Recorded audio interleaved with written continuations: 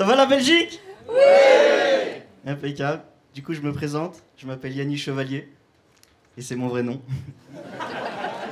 je vous explique, moi je suis moitié français, moitié algérien. Et pour coup, mes parents, c'est deux personnes qui sont totalement l'opposé. Ma mère, elle a grandi à la campagne, alors que lui, mon père, il a grandi dans la ZUP. Du coup, moi, toute ma vie, je me suis posé qu'une question, c'est comment ils ont fait pour se rencontrer? Du coup, moi, avec le temps, j'ai développé une théorie, ça tient qu'à moi. hein. C'est un cambriolage qui a mal tourné. Ah, je vois pas de possibilité. Après, euh, pendant longtemps, j'ai renié mon côté français. Question de charisme. Mais je lâchais des vraies phrases. hein. Je disais, ouais, moi je suis pas un français, je suis un Algérien, un vrai.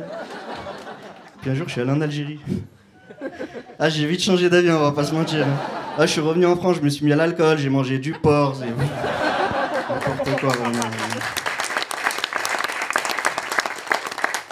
Après, moi, comme mon père, j'ai grandi dans un quartier. Et euh, ce soir, j'ai envie qu'on se débarrasse tous ensemble d'un cliché. C'est que souvent, on dit que les gens qui viennent de quartier, c'est des gens qui sont pas très fut-fut. Non, en fait, si, c'est vrai.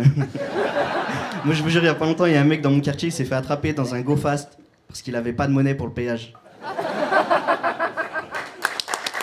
Non, applaudissez pas ça. Parce qu'en vrai, il faut qu'on arrête avec ces clichés, clairement, parce que ça nous nuit. Moi, par exemple, en fin de troisième, au moment de l'orientation scolaire, on a décidé de m'envoyer en CAP chaudronnerie. Et pour ceux qui savent pas, c'est quoi un CAP chaudronnerie? C'est une classe de 30 élèves. Tu prends les 30 pires cauchemars de ta ville, les 30 cassos de chaque collège, tu les regroupes tous ensemble et tu leur apprends à faire de la soudure. Et je vous jure qu'il existe quelque part une photo de nous.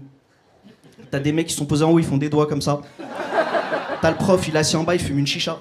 T'as des gens, ils sont même pas du lycée sur la photo, c'est n'importe quoi vraiment. Du coup, moi, fallait que je me sorte de là. Du coup, je me suis battu, j'ai réussi à retrouver un cursus plus classique, et au final, j'ai réussi à avoir mon bac. Et là, faut m'applaudir. Merci. Tellement spontané. Non, en plus, mon bac, il m'a pas servi à grand chose, j'ai fini chauffeur poids lourd. C'est pas le meilleur des métiers. hein. Parce qu'on voit tous le chauffeur poids lourd de la même façon. Gilbert, 57 ans, fan de Marcel et de prostitution. Surtout que j'ai pas trop à porter des Marcel. Non, après, pour continuer à vous parler de moi, faut savoir que moi, très très petit, je suis tombé gravement malade.